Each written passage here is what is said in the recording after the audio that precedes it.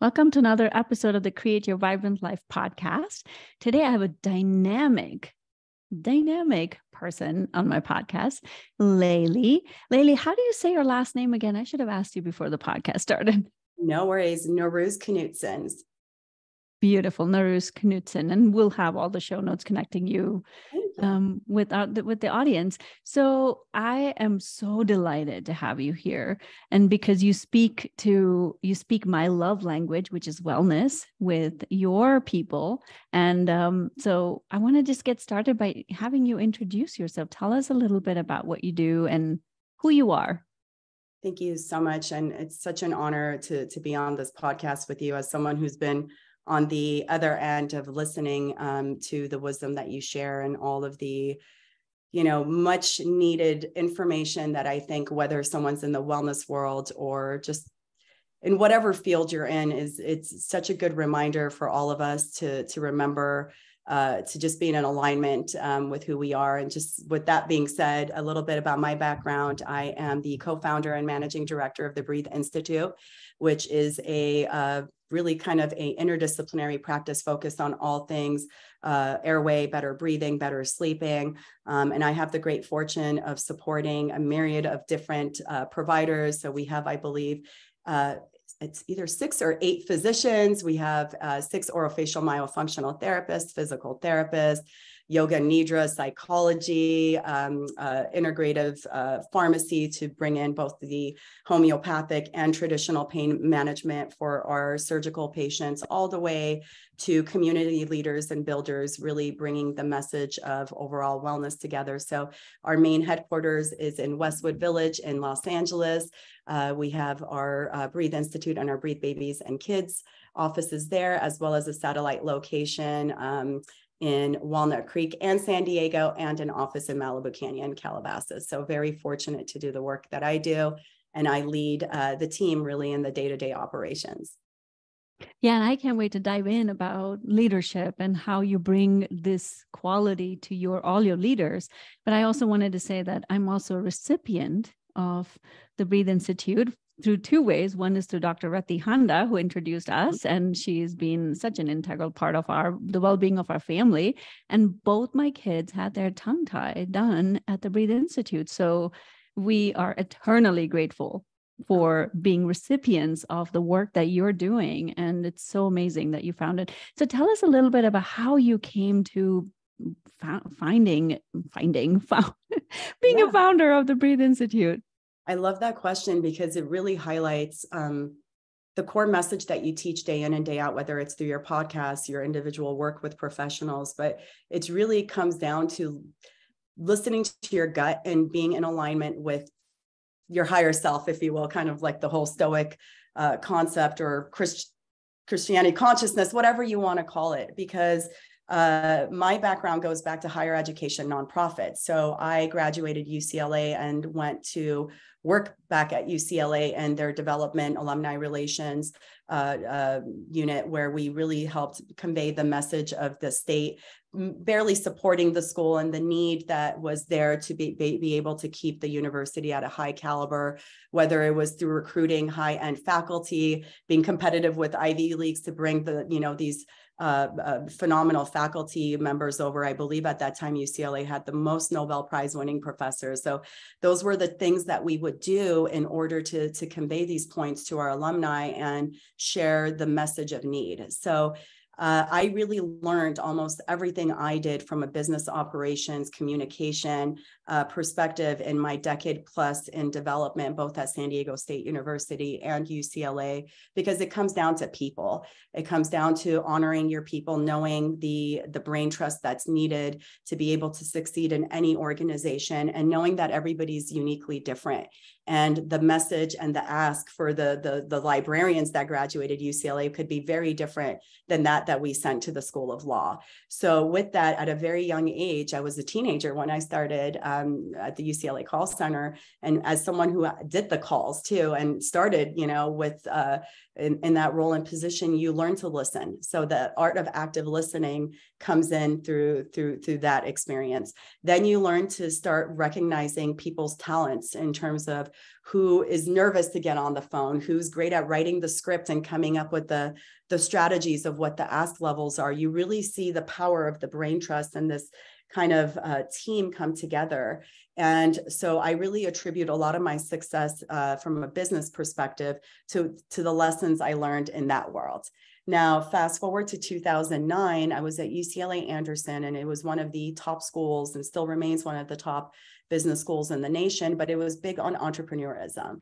And I was in the dean, the associate dean's office at the time, and we were trying to reach out to a few more alumni who um, it was during a reunion class gift campaign, and I had a few um, uh, prospects, if you will, who we were still reaching out to. And I remember Al Osborne, he's a brilliant, beautiful soul. If anybody uh, has the time, I would love for him to be a guest on your show and podcast. But he, I remember, just picked up the phone and called a few of these uh, prospects and I think he got like a million dollars in pledges just off of the few conversations he had.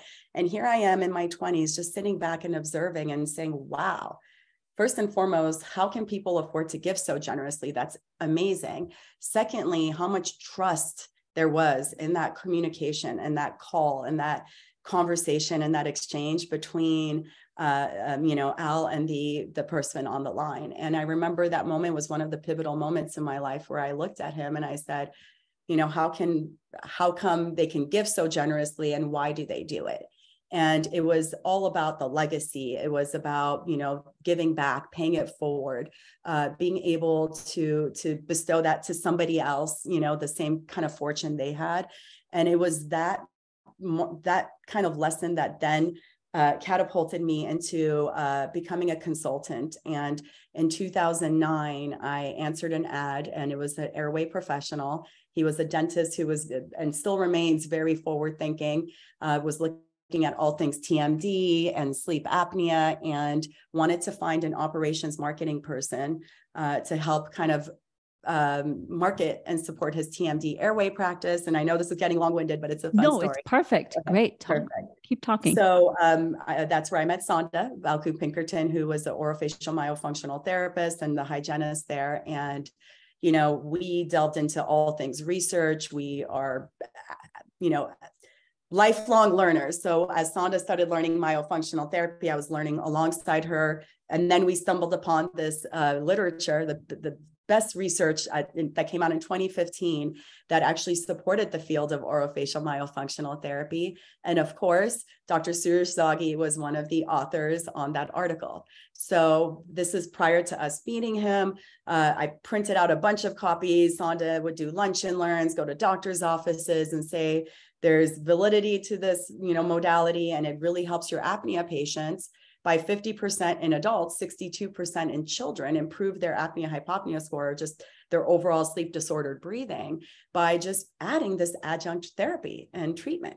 And it was simple as as simple as what you do, working out every other muscle in your body. We neglect the you know muscles in our orofacial complex in our head and neck. So it's teaching simple exercises that um, help patients get their tongue up to the roof of the spot if that's you know a healthy position for them and um, be able to have more mobility more range of motion speak more clearly eat you know uh, uh, different textured foods. So we uh, stumbled upon the research and then uh, the universe does what the universe does best and aligns you right ask and you shall receive and aligns you with the people that you need to get to that desired goal that whether or not we know it's the goal then in that time, right? Um, ends up, you know, looking now six, seven years down the line and looking back at all these events that I'm sharing with you guys, it, it had to be orchestrated or manifested to some extent, right? So lo and behold, Sonda goes to a conference and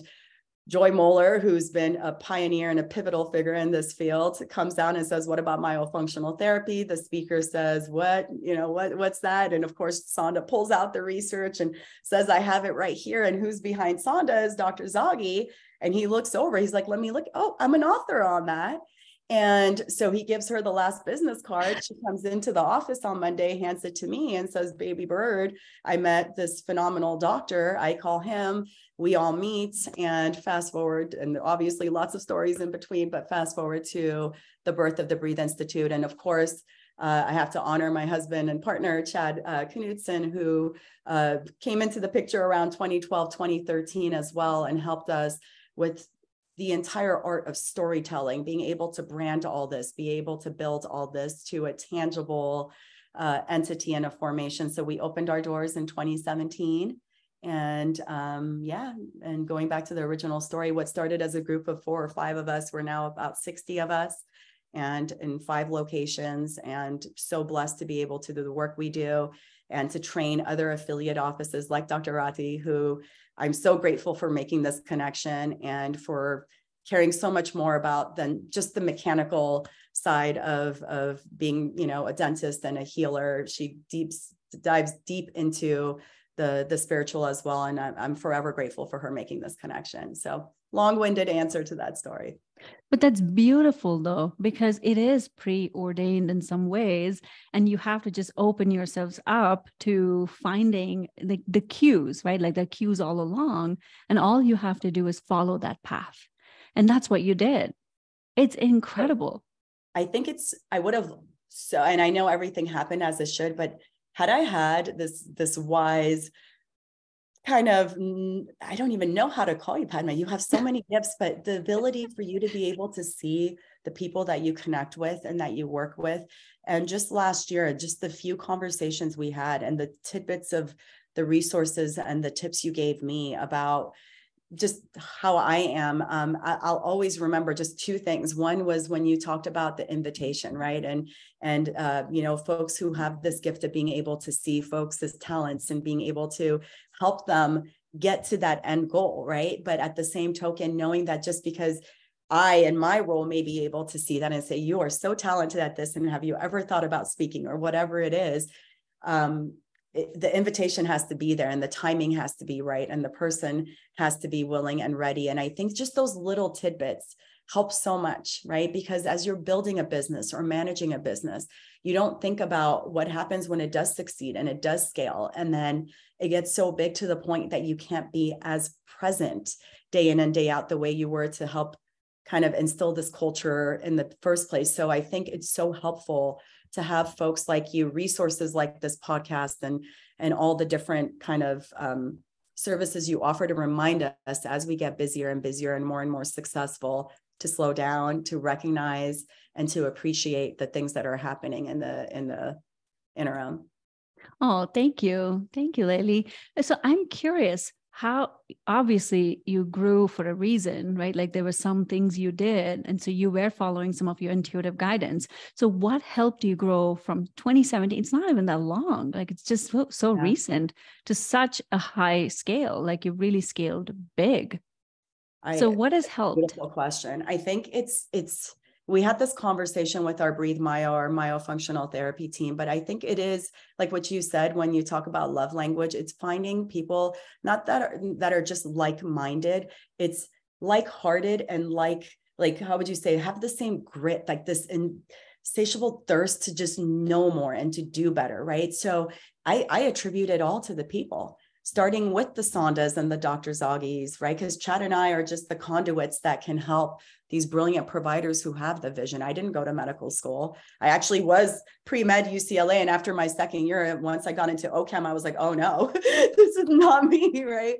But um, you know, it's it's being able to see a surgeon like Dr. Zaghi who tells anybody who comes along his way, whether you're a massage therapist or a physical therapist or a hygienist, a speech path, tell me more. That's really interesting. Tell me more. How can I do better? Right? This welcoming of information and not saying I'm Harvard, Stanford, UCLA, I know it all. That was one of the first uh, uh, integral parts of our success. His willingness to come out from as an ENT sleep surgeon into a dental office to meet with me and Sonda um, and to talk about what he does and how he can uh, improve what he does day in and day out. That was step number one. Then it takes the Sondas, these folks who never stop reading, who never stop searching, right? Just because she knew there were surgeons who did tongue ties, but the, they were coming back and patients were either getting a simple mucosal release or those who had tongue ties, but they weren't diagnosed as tongue ties because prior to Dr. Zaghi and us publishing our level three research, you know, tongue ties were defined and, and graded in a completely different way, right? So here's Sonda, who's this curious mind who's like, we can do things better. And I'm not afraid to go out and, and pay more money to go to conferences and learn more and to question things and then bring this information and change our protocols. The folks that you see that do these continuing education courses appreciate the providers that you have that keep going to these courses because it's not that they just take this information and learn it. They have to come back and their entire team has to change all of the protocols from the intakes to to whatever they do day in and day out to make sure that this knowledge is actually implemented so um, it takes the sondas it takes the zaghis and then this is where you know chad and i could not have sustained the growth that we had if we didn't have the gens and mia so i tell every doctor make sure you have one clinical manager or you know director that can do everything clinically to support you whether it's notes sterilization patient care and then make sure you have an operational rock star. And that to me was jen rodriguez. And jen if anybody's seen game of thrones i, I joke around and say she's all three dragons in one right? Because she's not only just capable but from day one when she was hired it would be like 536 and I'd be like, what are you still doing? Go home. And she'd be like, there's four more emails or I'll do this once this is done. There was a sense of pride in the work that needed to be done. And that was the same thing with um, uh, with Mia as well, Mia Jabara. And I'm so proud of Mia because she's now at Duke, the number one PA school in the nation. And what Mia instilled was that every medical assistant that ever joined the Breathe Institute after Mia, there was a bar, right? There was a bar. She was at USC when she uh, when she joined us. She was a, a senior. She graduated, became full time. She trained every medical assistant uh, uh, underneath her, and all of them have been total rock stars. So, one last thing I'll share to that is every medical assistant that's ever supported Dr. Zaghi and our team, and there's 10 who graduated on as alumni of the Breathe Institute. They're all in medical school, PA school, dental school. So, it's probably the most rewarding part of our work is to be able to see the future of these healthcare providers coming in with the understanding of it, you treat the whole patient and it takes a whole team and a whole village to do it. That's incredible. So, so team effort and then embracing change, but you have a knack of hiring the right people. I think so, it starts with just like the, what I mentioned, Mia and Jen because at first when i did everything i was with sonda was in the back chad was at home making our videos making our our entire brand and sonda was you know assisting dr zaghi so her and i played almost every team role in the clinic for almost six months before we officially hired jen and mia. And i i, I was so afraid because i was like who's going to carry the day-to-day work the way i do and i'm i'm the owner i'm one of the owners right? But um, you know when you find people who are passionate and genuinely take pride in the work they do they're curious they ask questions when you're talking they're listening because they want to learn how to talk like that that's how i remember being when i was in my 20s and and um, i don't care if they have the experience or not they're trainable. So we didn't look for people who specifically had experience running a medical practice and or an interdisciplinary team i looked for people with grit and heart and who were willing to to build the culture. And i think that instilled this this expectation where even today when we interview these younger students the, the the next generation of our lead medical assistants are like what's up with the generation today? Do they not care? And i'm like it's adorable. You're hearing a 22 year old uh, you know a professional who's already been with us for 3 years have a different expectation of what what concierge care in its true word or de- definition means Wow, that's incredible. Like the training. So you you know you you're also talking about honoring these people coming into your space and training them and keeping the standards really high. And this comes down to the team that we were talking about right before we started. So what what do you see is the quality of a leader that's going to help the team? I think it first and foremost comes with when it comes to healthcare especially and I know you're following is in a bunch of different um, industries and what have you. But when it comes specifically to healthcare, doctors went to school to be doctors. They spent a great deal of time in medical school and dental school you know, if they're PTs, what OTs, what have you, getting the clinical knowledge and experience. They didn't go to business school to learn how to be inspirational and motivational. Some of them have that natural, uh, like look at Dr. Handa, right? She knew to seek out more uh, support for her team and to build the culture. Some of them naturally have that, and others just need a point in the right direction. And Dr. Zaghi is someone who 100% supports all of these growth initiatives, but he's also someone who knows that he does best when he's in a clinical setting, when he's in the OR, he's operating, he's doing a comprehensive consultation for someone. So I think the first thing is an acceptance and truly knowing who you are. If you don't have these natural leadership abilities, identifying someone or hiring someone on your team who does. And then knowing how to keep watering their lawns, right? So whether it's doing team building retreats, whether it's you know, doing little things that honors them on their birthdays, their work anniversaries, whatever it is. That's that's very very critical to the culture, but it's also remembering to to to connect with themselves even when they're not leading right so even a surgeon or a doctor who's not leading and has a Leyli or a jen in their practice how do you bring about trainings like EOS or working with Padma Ali to make sure that the team is in alignment with what they do best, right? And the last thing I'll say to that is I've been a firm believer that SWOT analysis, the whole strength, weakness, opportunities, threats, if something's a threat to someone on your team, pull that off their job description.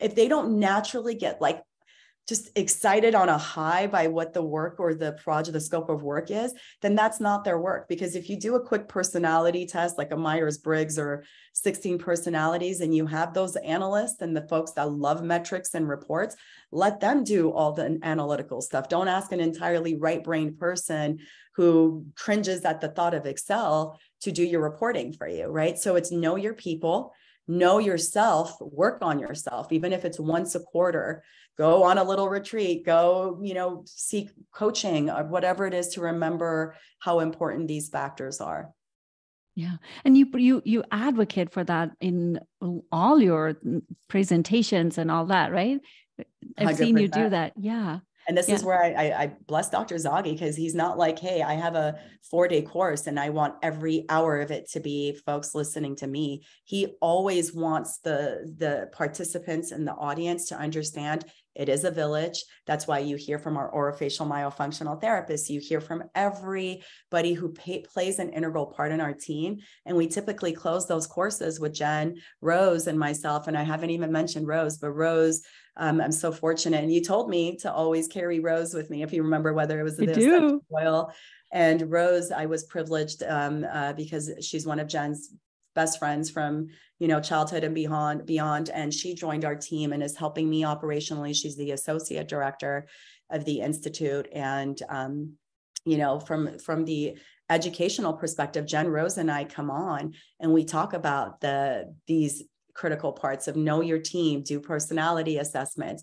Are you happy in your uh, day-to-day work? And if not, what what's needed to get you there? And we don't have the tools. We're just there to ask the questions so they can remember that this is a part of the success factor. And this is where I feel like our extended village, right? Providers like you who offer the services you do, Cassandra Carlopio, who's a psychologist who does mindfulness and, and yoga nidra for our patients who are stuck in fight or flight right their autonomic nervous system needs some support that's not it's not a structural thing anymore we've cleared them surgically right so it's not that everything we do stops with the the structural stuff that we offer. There's a functional side that we offer as well. And then there's the mindful and the awareness side that really comes through providers like you, who, um, you know, I just wish were part of mainstream medicine.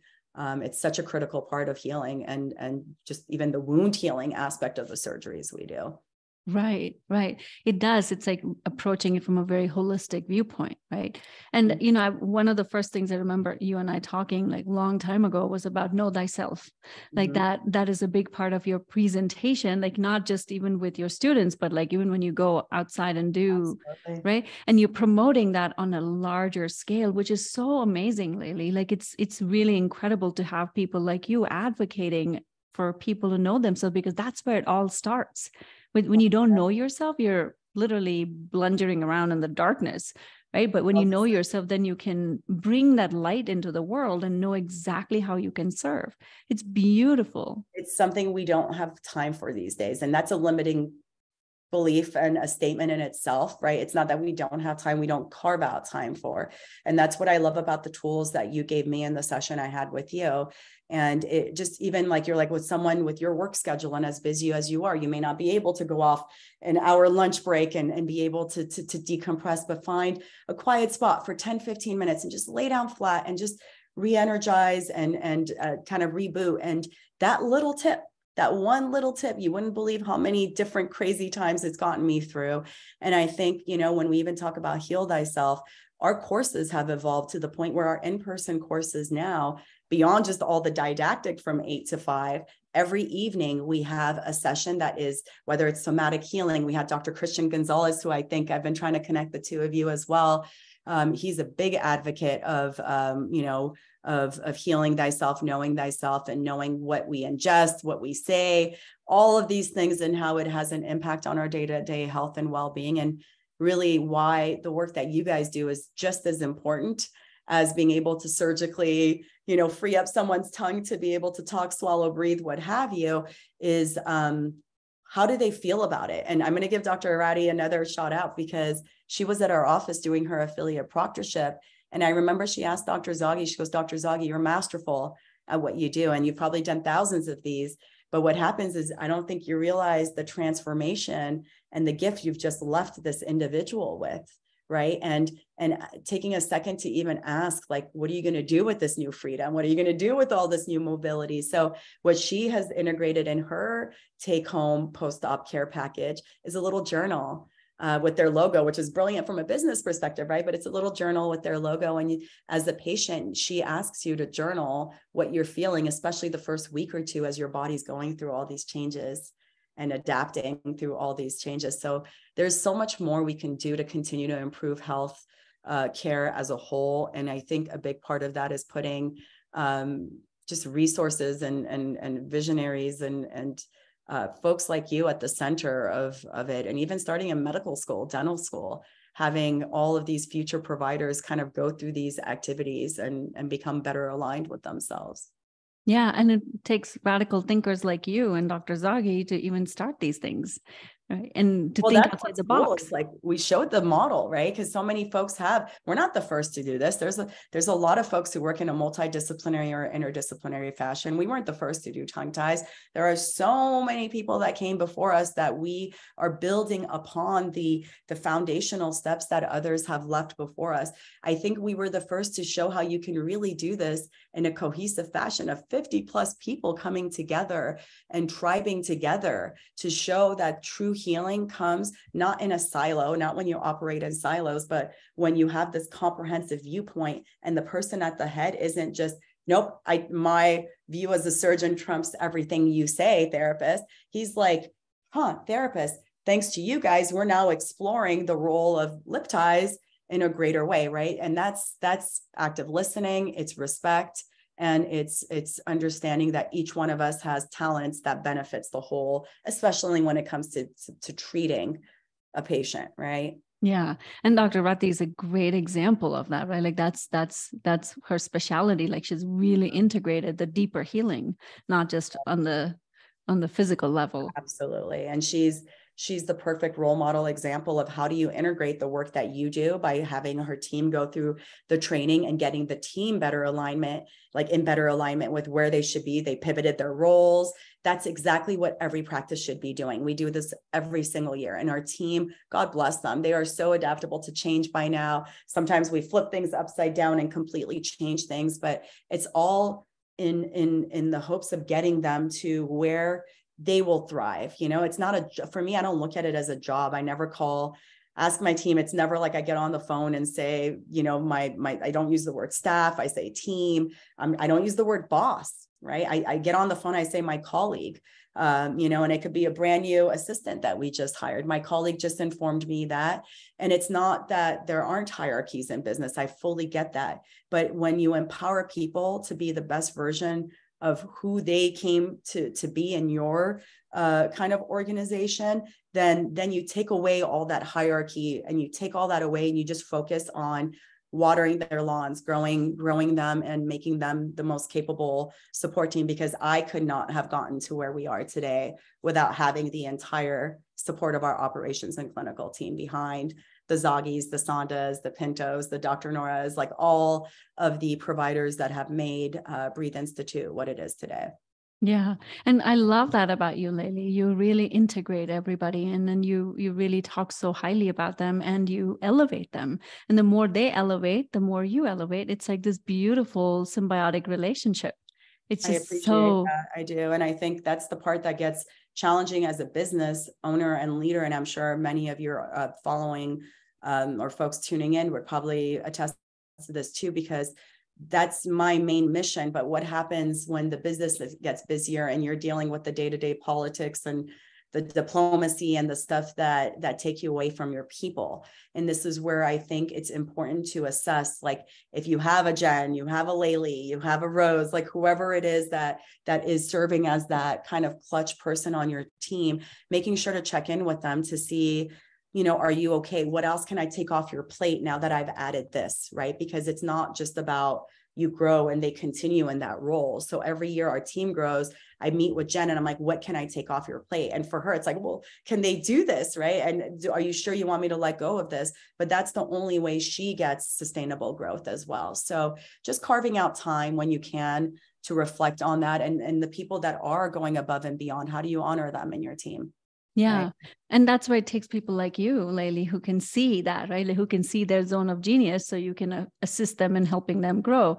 So I'm curious, how what what advice do you have for a for a business that's just starting off or that just has like a few team members? How can they scale to where you are at with Sure. The kind of care that you I give. would say be resourceful. I think the businesses, especially in healthcare, when you're a newer startup and you want to do things and you want to get all the the what do you call it bells and whistles and you want to you know just go out there and already be this large organization we were very much uh, very much grassroots and and bootstraps in the sense of very like organically growing breathe institute. We had a 900 square foot office that when we initially started out of as we were constructing this suite that we're in now and um, we outgrew that place probably five months into opening the practice and are still, when folks travel to come see us or shadow Dr. Zaghi, they're expecting like a UCLA Health Systems, you know, a whole building dedicated to Breathe Institute. But in reality, even before COVID, I believed in a hybrid work model right? So if right now we can't sign another lease and commit ourselves to a liability in this unsure, uncertain time of COVID, do and make with what you have, right? Like do like as much as you can with what you have and and start small right? Baby steps and have defined roles for people. So if you're just starting out yes uh, you know your front office person can also run back office and float but how long is that going to be sustainable? And as you grow when are you ready to make that commitment to bringing somebody else new? But it can't be off the bat just because a traditional office may have x amount of assistants or x amount of you know operations people start resourcefully and then every three months six months what have you reassess and see where the needs are. And um, you know do things organically. And the, the best thing to do is this is something we share in our lectures people buy people these days. And this in this generation folks are buying the person behind the product not the product right? So spend more time in showing who you are what you're offering as opposed to all the things that maybe what a social media company may be telling you to focus on. You know your constituents best, you know your message best, and find someone who who understands your vision and start with that. So start with two critical, one clinical, one operations, or if you're a business outside of healthcare, just have one person who's at least 50% left brain, 50% right brain that can help you with growing the vision of the company. It's beautiful. It's really and one of the first things you said is like change right? Embrace the change because 100%. it's always changing. If you're resisting change you're in for trouble. It's it's it's especially right now i mean i give chad a huge shout out here. We uh, right when covid hit we had about four um, personal personalized courses one in miami one in texas i think two in la to follow. We had hotel contracts a lot of financial investment into doing these live courses. And then come what was it like march april and then the closures hit. And then we had to shuffle around and pivot where everybody had that kind of downtime. And so many of my friends were calling me i'm bored. I'm this. Chad and i had like you know 14 hour days um, just banging out converting all of our in-person course content into an online version of what we had never done online courses dr zaghi four four days of eight hour lectures we were like how are we going to keep people engaged how are we going to make it so anything even sticks, right? So for almost two weeks, him and I completely and hugely Chad transformed all of our content into this course platform. We met with Zaghi, we practiced things, and then we got rave reviews. And the beauty of that was now we had the ability to get folks from Europe, from the Middle right. East, Iran. They were expressing interest in taking the course, and now they had access to it. Right. So if you so don't incredible and if you're not open to that change and you just sit back and you say, oh my gosh, this sucks, you know, poor me, like we lost so much on this. And you just play that victim role as opposed to, all right, pivot. That was the year of like COVID.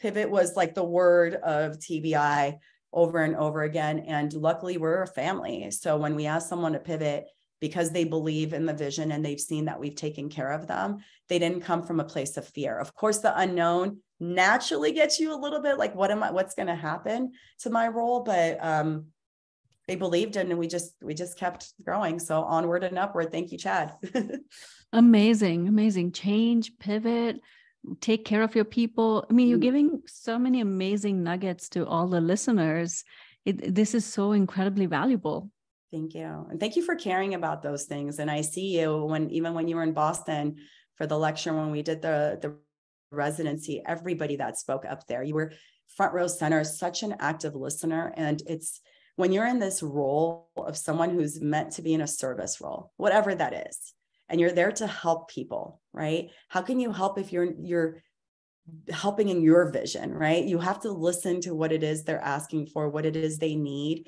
and to be able to personalize and customize your response specifically to that person. And it's cool just seeing the different assessments that you've had that you've done with different teams, including ours, to understand what each one of our roles is. Like I'm the person who can see the talent and help groom and bring that out of a person, right? Chad is the one who can see the overall what's needed to make all of this feasible and then we have a team who can generate these ideas and bring them to life so it's it's so healthy it's so healthy to not only just hire and train them but then to stop and audit and ask where are we at?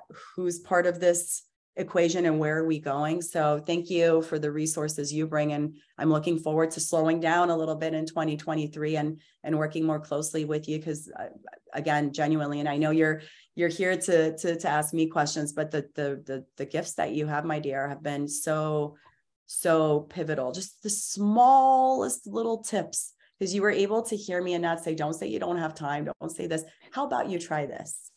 And i was like sure sure i can give that a shot. And and and it was perfect. It was exactly what i needed. Thank you thank you. That's so sweet.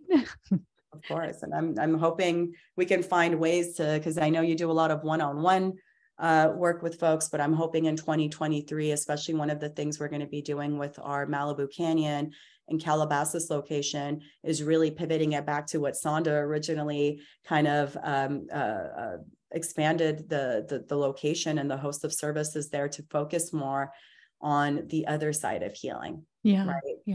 And like you, I've had to pivot um, too because my schedule has gotten so full that I've had to start more group programs because Amazing. I couldn't, I can't be the one person doing so many things. Right. Amazing. And so so it's change is the name of the game when you're an entrepreneur. You have to keep changing, pivoting, and opening up. Like you said, service. When service is the center key of whatever you do, then that becomes the focus. And then it's less about you and what can you do and can't do. And ego doesn't get in the way because there's no space for ego and there's no time for ego. You just keep going because people so need you said.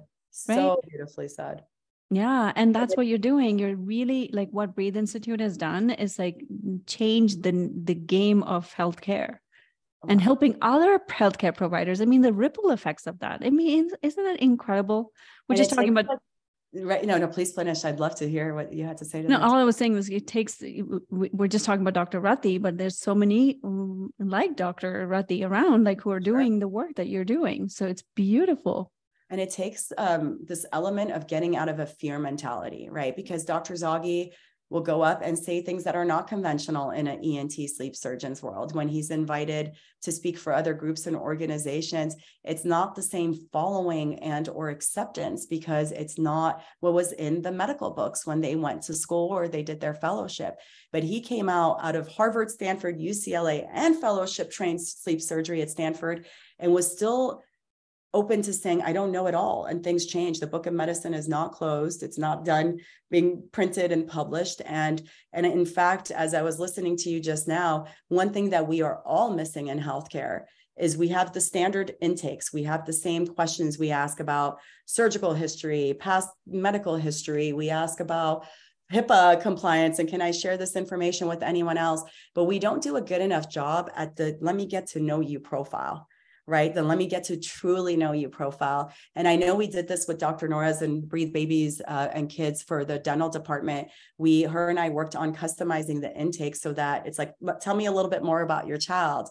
Do they have a nickname? Or there, you know, can we offer J U I C E to Jen's point to your, you know, just so we know each family and we can really customize care when they come in. But why not do that on a larger scale with adults? And why not do that across all health offices. And again, as I, you know, every time I talk to someone like you or Christian Gonzalez or Cassandra Carlopio, I'm like, we need this in our intake process as well. We genuinely do.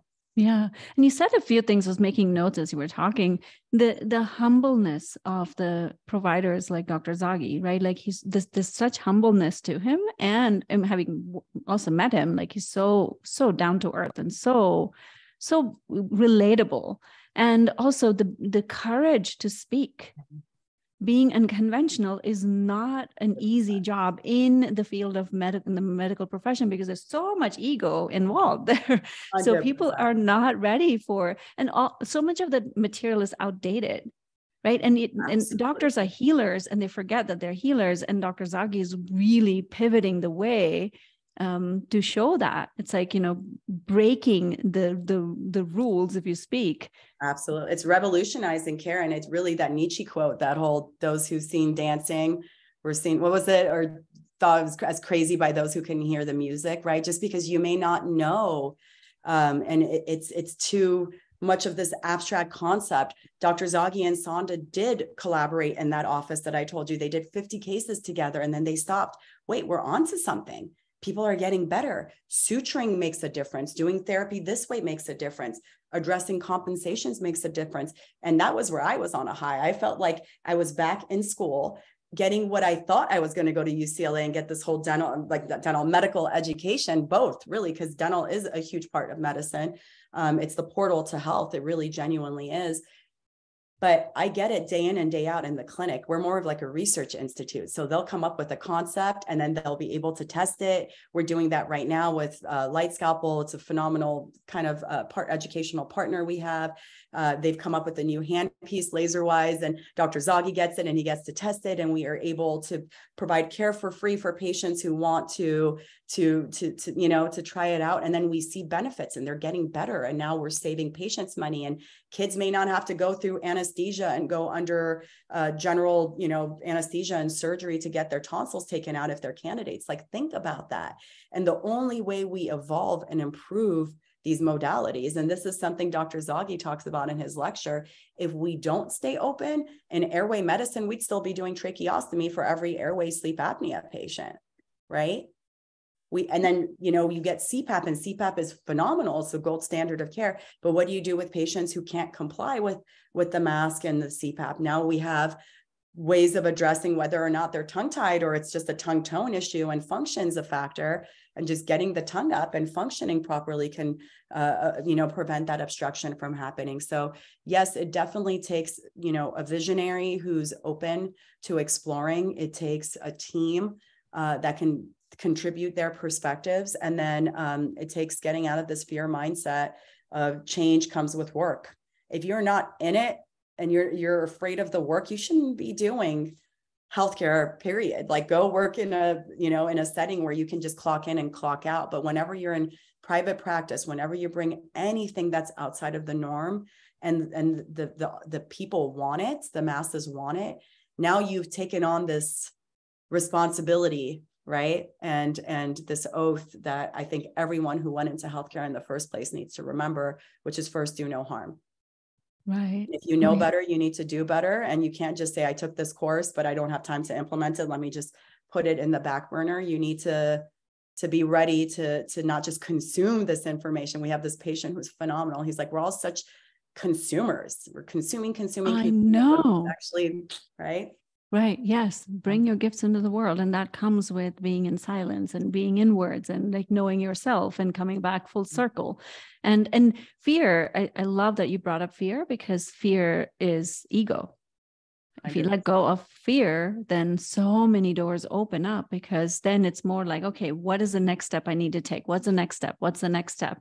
And there is no room for turning back. We've moved so far away from understanding these main psychological principles. And I feel like psychology, just like dentistry, became like this field that was so separated from traditional healthcare to the point where we have a shortage of primary care physicians, right? I say this in our lectures too. We have uh, organizations like one for like one medical forward popping up left and right because we don't have enough primary care physicians we have all these specialists but no one person is looking at the patient as a whole. I mean, we obviously have practitioners who do that, but there's a shortage of them.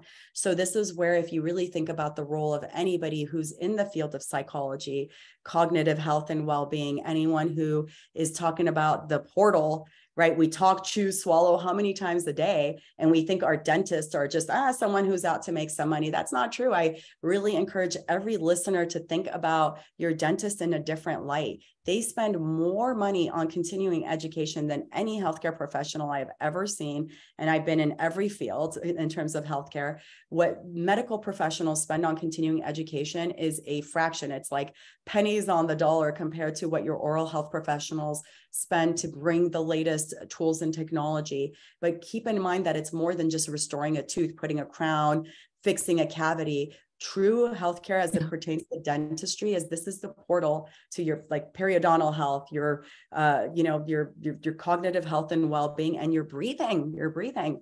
It's it's the nose but your mouth plays a major part in this. So uh, i would ask anybody who's listening or anyone who's out there to to ask if you have a provider or a dentist who is not bringing up these things to you ask if they do assess for sleep disordered breathing what they're providing outside of just traditional dental cleanings or if you come into an office like dr Handa's and you're like why is she asking me these things appreciate it appreciate it because she's going above and beyond making sure that she just doesn't fix the tooth, that any past, you know, tension, trauma, anything that you've held and retained there, all of it is coming to surface and being resolved. That's true healing. And someone who's invested that much in saying, you know what, I have to take my expert hat off, my expert dentist, my expert airway hat off when I have a patient and really explain things to them in terms that resonate with them. That's the biggest thing any doctor or any leader, whatever your industry is, is just being able to take off your, you know, CEO executive title and just be on the same level, just listen and be relatable. And I think that's the other thing in addition to change and and building your team um, is just being present for the folks you're serving. Oh, it's beautiful. Thank you, Leyli. Thank you so much. Thank you so much for sharing your wisdom and your beautiful knowledge. How can people find you yeah. and what are ways that they can work with you? Tell us more.